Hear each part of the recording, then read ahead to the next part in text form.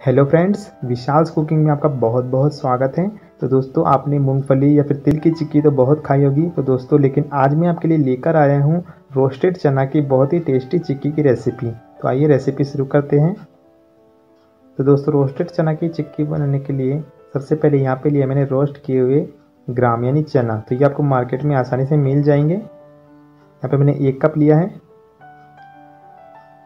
तो यहाँ पे आप देखेंगे कि रोस्टेड चना में कुछ छिलके हैं तो इनकी छिलकों को निकालने के लिए मैं क्या करूँगा, एक कपड़ा मैंने बिछा दिया है और अब इसमें डाल दूँगा मैं रोस्टेड चना और इसको मैं इस तरह कवर कर दूँगा, यानी इसकी पोटली सी बना लूँगा और इस तरह मैं हाथों सहायता से इसको इस तरह रगड़ लूँगा। इससे क्या होगा कि इसमें जो छिलके हैं एक्स्ट्रा वो हट जाएँगे। तो हमें सारे छिलके नहीं हटाने हमें कुछ कुछ ही हटाने तो इसको मैंने लगभग एक मिनट के लिए इस तरह कर लिया है। मैंने इसको इस तरह घस लिया है।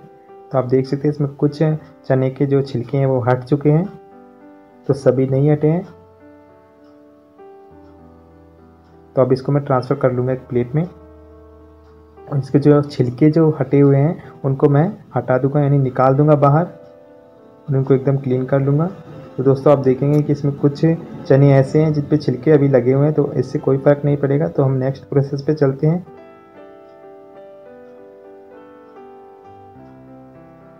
नेक्स्ट प्रोसेस क्या है? तो यहाँ पे हम चिक्की बनाने के लिए हम यहाँ पे लिया है मैंने एक बेकिंग पेपर तो इस बेकिंग पेपर पे मैं डालूँगा थोड़ा सा रिफाइंड ऑयल आप चाहें तो घी का भी इस्तेमाल कर सकते हैं. तब इसको मैं अच्छे से ग्रीस कर दूँगा, यानी इससे रगड़ दूँगा तेल से.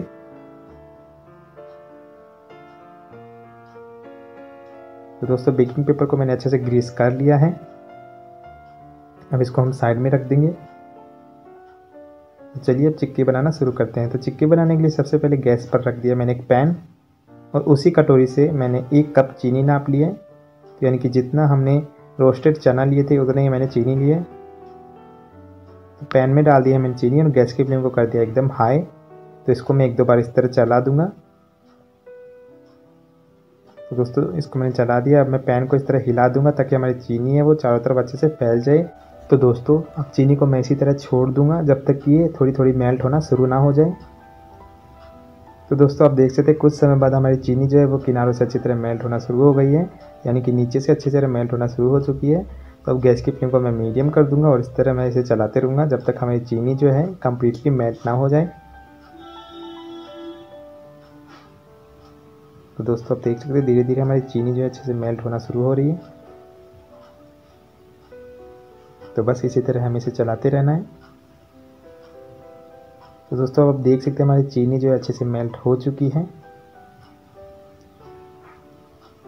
तो दोस्तों, अब इसके अंदर डालूँगा मैं एक टीस्पून घी। ये ऑप्शनल है, आप चाहें तो डालें या चाहें तो ना डालें। इससे क्या होता है कि चिक्की का जो फ्लेवर है और भी बढ़ जाता है। तो बस इसको घी को हमने अच्छे से मेल्ट कर लिया है। तो दोस्तों, अब गैस की फ्लेम को मैं कर दूँगा बंद। और गैस की फ्लेम को बंद करने के बाद इसमें डालूँगा मैं एक कप रोस्टेड चना, यानी कि वही चना है जिसके हमने छिलके उतार कर तैयार किए थे। तो इसको मैं अच्छे से मिक्स कर दूँगा। अच्छे से मिक्स कर लेना है। तो चीनी जो हमारी, यानी मेल्टेड जो शुगर है, उन्होंने हमारे रोस्टेड चना को अच्छे से कोट कर लिया है। तो बस हमें इसी तरह से चलाते रहना है। तो दोस्तों, आप देख सकते हैं, ये बहुत गर्म है, इसीलिए इसमें बबल्स आ रहे हैं। तो बस इसको हमें इसी तरह चलाते रहना है, जब तक कि हल्का सा गाढ़ा ना हो जाए, यानी कि जमने वाली कंसिस्टेंसी में ना आ जाए। तो दोस्तों, अब आप देख सकते हैं, ये हल्का सा गाढ़ा होना शुरू हो गया यानी गाढ़ा हो चुका है। तो अब इसको मैं ट्रांसफ़र कर दूँगा बेकिंग पेपर के ऊपर, जिसको हमने रेडी किया था।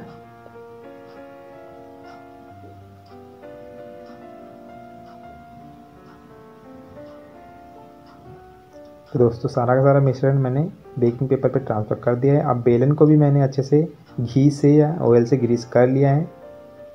आप कुछ भी उससे कर सकते हैं, घी या ऑयल तो बस इसको मैं इसी तरह बेल लूँगा, ताकि इसका एक अच्छे से हम इसके स्लाइस काट सकें, यानी कि इसके पीसेस काट सकें। तो इसको मैंने अच्छे से बेल लिया है, चारों तरफ़ से। तो अब इसको, हम पीसेस में इसको कट कर लेते हैं। यानी इसमें कट के निशान लगा देते हैं। तो इसको जब ये हल्का हल्का गर्म रहे, तभी इसमें कट के निशान लगा दें। क्योंकि जब ये ठंडा हो जाएगा तो इसमें कट के निशान नहीं लगेंगे और हमारी जो चिक्की है, वो टेढ़ी मेढ़ी टूटेगी। तो इसमें मैं कट के निशान लगा दे रहा हूँ। आप छोटे, बड़े कैसे भी कट के निशान लगा सकते हैं। तो दोस्तों कट के निशान लगाने के बाद इसको मैंने लगभग 10 मिनट के लिए ठंडा कर लिया है। तो दोस्तों, आप देख सकते हैं ठंडा करने के बाद ये कितनी आसानी से निकल चुकी है। आप देख सकते हैं बहुत ही खस्ता बनी है। तो आप देख सकते हैं एक एक इसकी जो पीसेज हैं, कितनी आसानी से खस्तापन दिख रहा है इसमें। आप देख सकते हैं कितनी आसानी से टूट रहा है। तो दोस्तों, मैं आपको इसको एक पीस दिखाता हूँ। दोस्तों, आप देख सकते हैं इसकी शाइनिंग एकदम मार्केट वाली, जो मूंगफली की चिक्की है, वैसी लग रही है। तो इसको मैंने ट्रांसफ़र कर दिया प्लेट में। तो दोस्तों, अगर वीडियो अच्छी लगी हो तो वीडियो को लाइक, चैनल को सब्सक्राइब और ज़्यादा से ज़्यादा इस वीडियो को शेयर कीजिए।